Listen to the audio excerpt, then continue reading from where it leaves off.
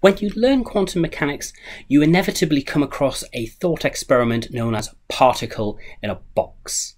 Although that's got nothing to do with Schrodinger's cat in a box, it's still an integral thought experiment and model for learning about the nature of quantum mechanical systems, and it can even be used as a starting point for predicting the energies of real atoms and molecules.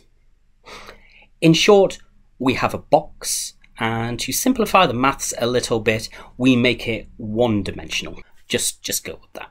We drop a particle into this one dimensional box and we allow it to move completely freely. It can move how it likes and where it likes, but it can't leave the confines of that 1D box.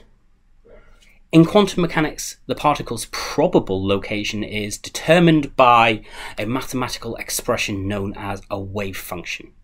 And we can figure out that wave function by looking at the constraints of the system. For instance, the function must be zero at both of the extreme edges of the box. We apply a relatively straightforward mathematical operator to that function and out pops an expression for the particle's kinetic energy.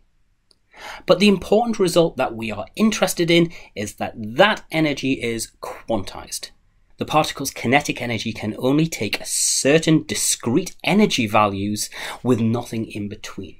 And each of these so-called energy levels is related to a single number known as a quantum number. When we talk about energy being quantized in quantum mechanics, it's often treated as if it's this strange and mysterious thing, like a car going at one speed and then another speed without ever passing through any intermediate velocity. But I want to show you one interpretation of this where we actually expect quantization and it absolutely reflects the 1D particle in a box model. When you play a note on a musical instrument, you expect the same note to appear again and again. Our music would be incredibly difficult if there was any randomness to this. And on a stringed instrument like a guitar, you can quite easily see why that's the case.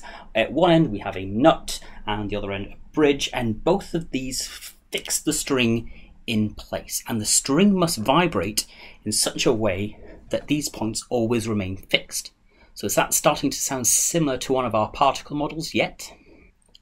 If we look very closely at a vibrating string, we see that it peaks in the middle.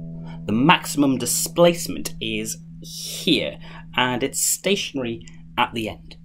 Now, the sound produced is controlled by a number of factors. There's the weight and size of the string and the tension, but mostly it's the length. For a given weight and size and tension of a string, only certain frequencies satisfy the other constraints.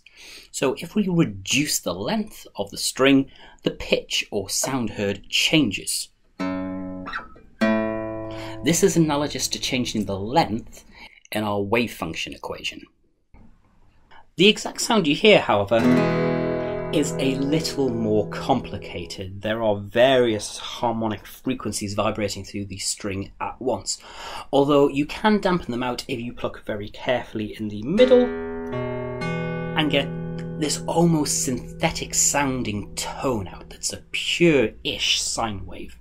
Pluck more closely to the bridge and you get a much more tinny sound as the higher frequencies get thrown in there. But the note remains the same. But that's not all. We can change the pitch of the string without doing anything else to it. We don't need to shorten it or tighten it. We simply need to touch lightly in the right location and there you have it, the first natural harmonic.